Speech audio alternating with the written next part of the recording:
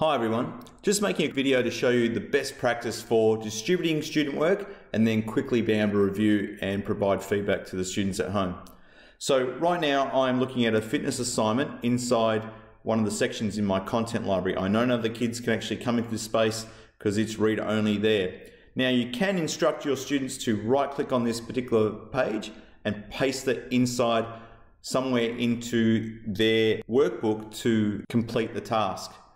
But to make this more effective, it's better practice to actually, for starters, have a content library that resembles what they have in their book. So you can see here, I've got biomechanics, fitness, and functional anatomy, and I've got the same section. So when I have a particular worksheet, I can then instruct kids to put it into the same section in their notebook, and I'm not looking for it in whatever section they've pasted it in.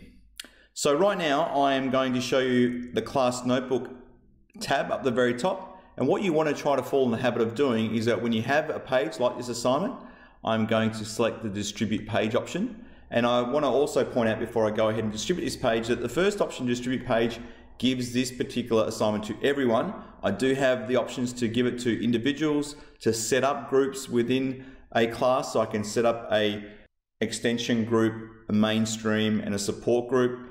Then I also have cross notebook distribution. So this particular page can get pushed out to kids in a different class if you are teaching numerous classes of the same subject. And then finally, good to know that if you make a mistake, you can actually delete a page that you've pushed out. I'm going to go ahead and select the first option, distribute page, which gives this to all the kids in my class. And I'm going to select fitness section and then click on distribute. And a few seconds later, this is now ready for the students to work on directly in their book. So my instruction to my class would be that I've pushed the page out and they can start working on it inside their fitness section. So now, how do we review student work? Well, many staff have been clicking on the drop down menus and clicking their way through finding sections. But the best way now to review the student work is again in the class notebook tab, you'll find a review student work button.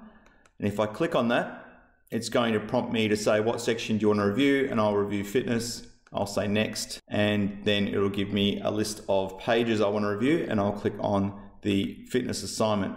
That then lets me click on my first student's name, Terry. I can see exactly what she's done and I can click on screen and start providing feedback. However, one of the things we heavily promote is your ability to go insert and click on audio recording. This is now recording. If you're using the web version, you might get prompted to allow access for the microphone. However, if you're using the app, which has got way more features, you might find the, the giving of feedback a lot simpler.